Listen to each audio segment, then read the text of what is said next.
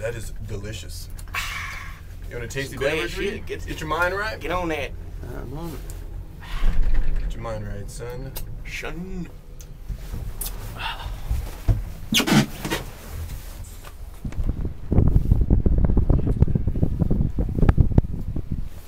Oh, dude, that's the perfect thing for this type of weather.